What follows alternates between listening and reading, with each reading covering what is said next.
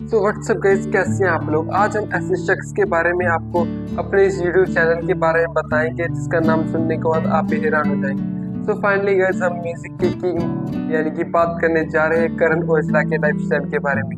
तो गाइज़ जो हमारे चैनल पे नवे हैं, वो हमारे चैनल को कर देना एक सब्सक्राइब और ये वीडियो जिसको भी जरा सी भी अच्छी लगे तो कर देना एक लाइक तो गाइस शुरू करते हैं करण ओजला का lifestyle video so guys Karan Aujla का पूरा नाम है जसकरण सिंह ओजला सो गाइस करण औजला का जन्म 19 जनवरी 1997 में पंजाब में हुआ।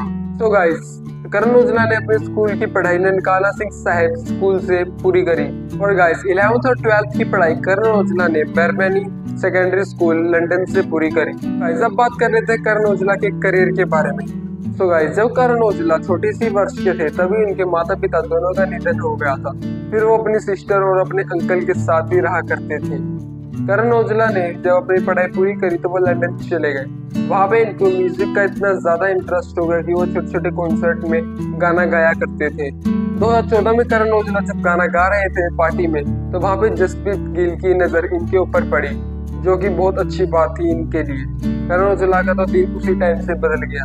इन्होंने अपने स्टूडियो में करण ओजला को बुलाया और इनसे एक सॉन्ग राइट करने को कहा और इस सॉन्ग को इन्होंने एक बड़े पर्दे पे उतारा। जिसको बहुत ज़्यादा फेम मिला।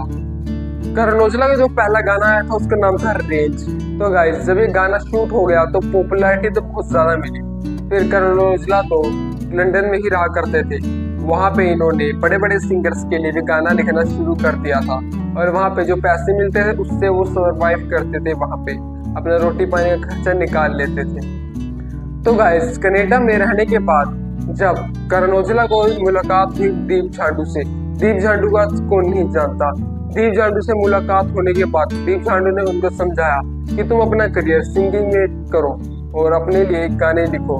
फिर इन्होंने 2017 में गाना निकाला था, जिस गाने का नाम था don't worry don't worry song को इतनी ज़्यादा पॉपुलैरिटी मिली, जिसके बाद करण ओजला ने गरीबी का सामना कभी नहीं किया। इतने ज़्यादा पॉपुलर हो गए करण ओजला की बड़े बड़े टीवी शोज़ में इनका नाम होने लगा। इसी साल करण ओजला बहुत से सॉन्ग रिलीज़ करते हैं, जिनके नाम है Ram versus जगहर no need, don't look, second, Chitta, Kurta, hint. ऐसे बहुत से सॉन्ग इन्होंने रिलीज़ किए जिनको बहुत ज़्यादा पॉपुलैरिटी मिली। फिर करण औजला ने कभी पीछे मुड़ के नहीं देखा। ऐसे ही best to best super hit song release करते गए अपनी लाइफ में। फिर 2019 में करण औजला यूट्यूब की सेकंड लिस्ट में आ जाते हैं पंजाबी सिंगर्स की।